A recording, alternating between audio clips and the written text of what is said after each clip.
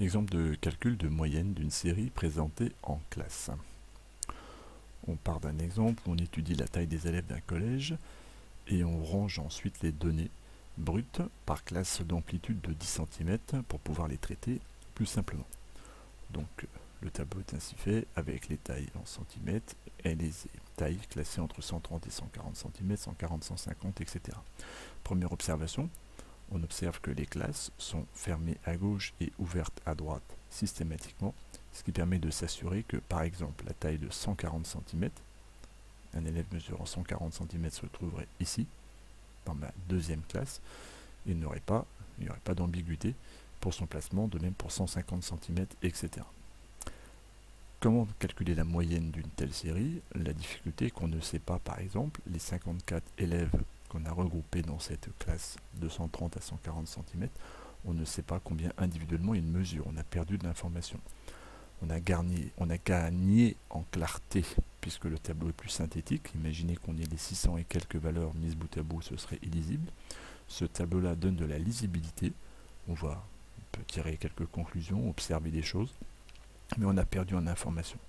Comment, à partir de ces informations moins riches que les données brutes, peut-on quand même estimer une valeur euh, assez proche de la taille moyenne de mes élèves, il va falloir calculer ce qu'on appelle le centre de classe.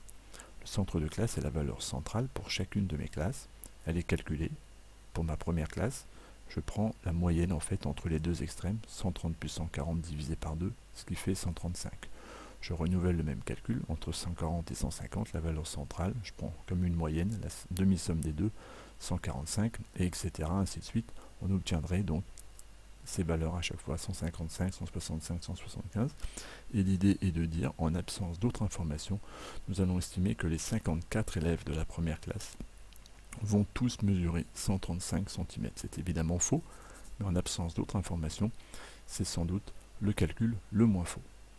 On pourrait, dans d'autres calculs, estimer euh, d'autres choses, prendre 130 ou 140 pour faire des calculs qui ne seraient pas la valeur moyenne, mais la valeur minimale ou la valeur maximale qu'on pourrait espérer avoir. Si on me demande de calculer une moyenne, la valeur la moins fausse, la valeur approchée la moins fausse qu'on pourra trouver, sera à partir du centre de classe.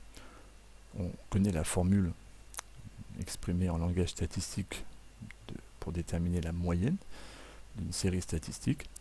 On va l'appliquer ici, tout bêtement, en disant que x bar est égal à 54, effectif de la première classe, multiplié par le centre de classe 135, plus 106 fois 145, plus 134 fois 155, plus 75 fois 165, etc. etc.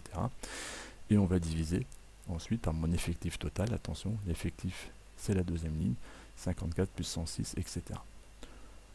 Nous obtiendrons donc ce résultat de 57 380 sur 378, environ 152, qui me permet de dire que la taille moyenne des élèves est environ de 152 cm.